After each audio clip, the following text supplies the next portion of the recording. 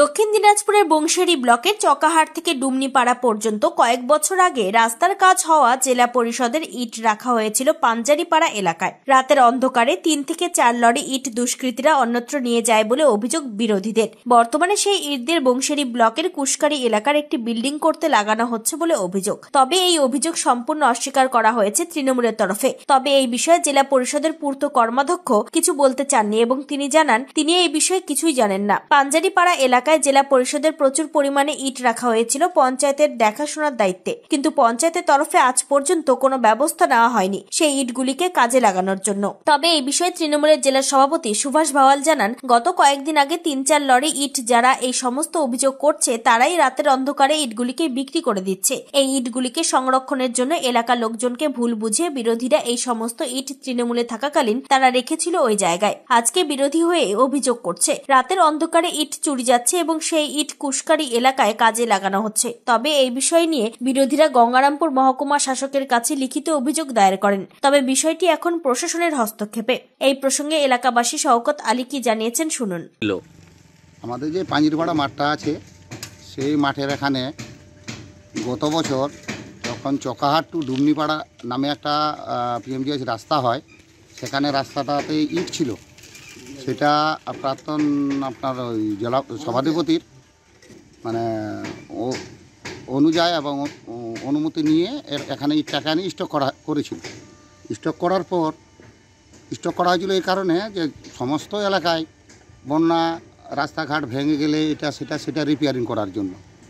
সেই রিপেয়ারিং করতে যেয়ে ইটটা এখানে স্টক ছিল। হঠাৎ করে দিন তিনেক আগে শুনি এখান থেকে তিন টলি কি চার টলি ইট এখান থেকে নিয়ে যায়। এখানে আমাদের একটা জিমাদারি চ্যাংড়া থাকে। ও মোটামুটি বিষয়গুলো রাখে কে কে নিয়ে গেল। যার নাম সামাদ, এখানেই তার বাড়ি কাঠমিস্ত্রি ও যখন গাড়িগুলো আটকিয়ে দেয়, তখন পুষ্কারি থেকে জিল্লুর নামে এক মেম্বারের স্বামী এসে বলছে, আমাদের পার্টিগতভাবে এটার অনুমতি নেওয়া আছে, ইটটাকে নিয়ে যেতে বলেছে। ভালো চেংড়া তখন আর কাউকে কিছু বলেনি, ও ছেড়ে দিয়েছে। ছেড়ে দেওয়ার পর এটা জেলা পরিষদের ইট। রাতের অন্ধকারে এরা ইটটাকে বিক্রয় করছে। দু নম্বর কথা হলো, এই যে, এই জায়গাটা যেটা দেখছেন আপনি সামনে, এটা টোটাল ইটের টুকরোই বন্ধ ভর্তি ছিল। এটা ছিল আবার রাস্তাঘাটের রিপেয়ারিংয়ের জন্য। এবার আগামী কিছুদিন আগে যে বন্যা কবলিত হয়, তার জন্য রাস্তাঘাট ভেঙে যায়। ভেঙে যাওয়ার ফলে এখান থেকে আপনার টুকরোগুলো তুলে নিয়ে যায় রাস্তা রিপেয়ারিং করে, খুব ভালো কথা। এটা তো আমরা সাধুবাদ জানিয়েছিলাম যে রাস্তার কাজ খুব তড়িঘড়ি হচ্ছে।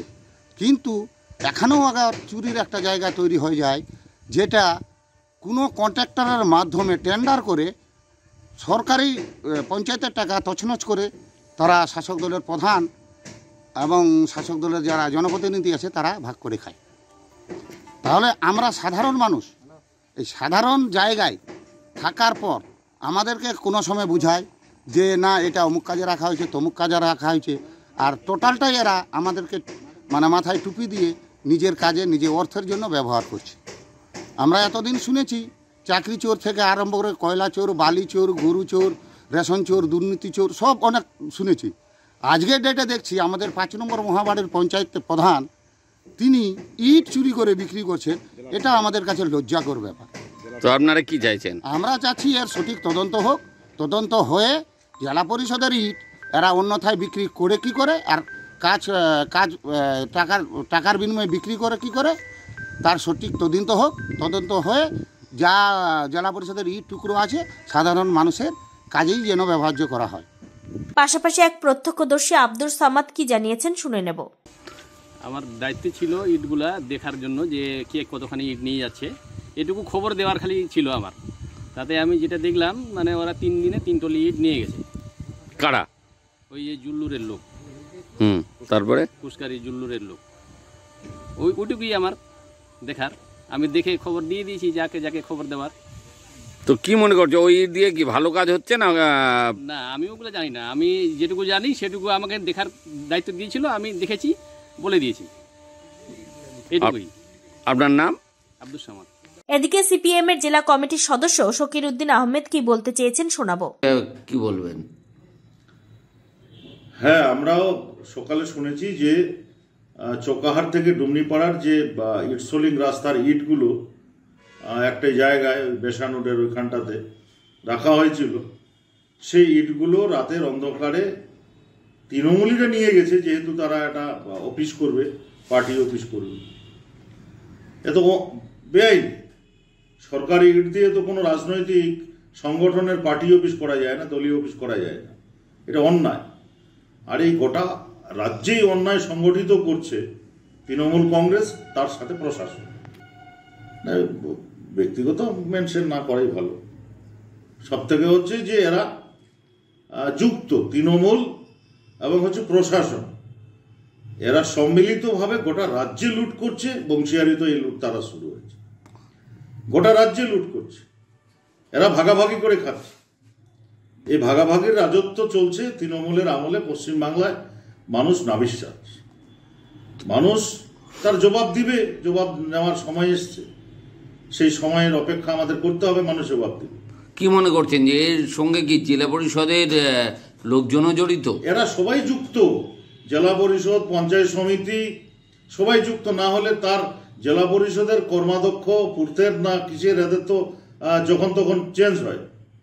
আজকে পূর্ত আছে কালকে হয়তো কৃষি হয়ে যেতে পারে। এরা সবাই যুক্ত যুক্ত না থাকলে ওখান থেকে ইট সরতে পারে না। তার নাকের নিঃশ্বাস পড়বে ওই জায়গাটাতে। তাহলে এরা যুক্ত থেকেই সব কাজ করছে।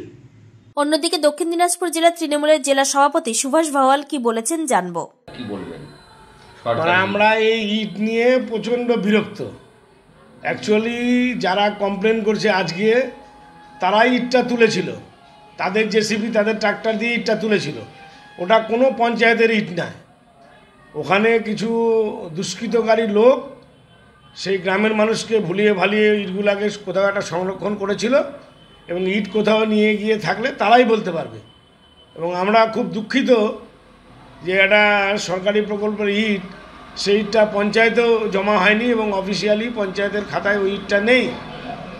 এবং যারা সেই সময় ইটটা তুলেছিল যে জেসিপি দিয়ে, যে ট্রাক্টর দিয়ে, তারাই এটাকে আত্মসাৎ করার জন্য বিভিন্ন জায়গাতে রাতের অন্ধকারে তুলে নিয়ে যাচ্ছে এবং আমরা জানতে পারছি সেই ইটগুলোকে বিক্রি করে দেওয়া হচ্ছে। এবং আমি সংশ্লিষ্ট পঞ্চায়েতকে বলেছি যে প্রয়োজনে পঞ্চায়েত যেন ব্যাপারটাতে সতর্ক থাকে এবং ওই ইটগুলো যেন সংরক্ষণের ব্যবস্থা করে। দক্ষিণ দিনাজপুরে বংশিয়ারি থেকে নিজস্ব প্রতিনিধি রিপোর্ট, টাইমস ফোরটিন বাংলা। সব মাই চায় মেয়েকে রাজরানীর মতন সাজাতে। সাজিয়ে তুলতে চায় সোনার গয়নায়। ওরিয়েন্ট জুয়েলার্স, সোনা যা সর্বক্ষণের।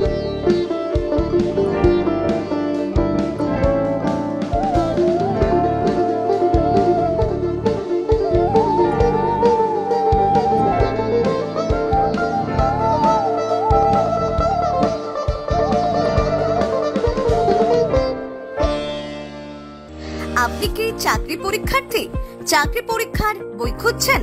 তাহলে আজই চলে আসুন সৌর বুক অ্যান্ড ম্যাগাজিন সেন্টারে। এখানে BSc WBCS bank, rail ICDS nursing ANM এবং জিএনএম সহ কেন্দ্রীয় ও রাজ্য সরকারের সকল চাকরির পরীক্ষার বই ও ম্যাগাজিন পাওয়া যায়। আমাদের ঠিকানা খড়িমোড় মোহনবাটি, রায়গঞ্জ।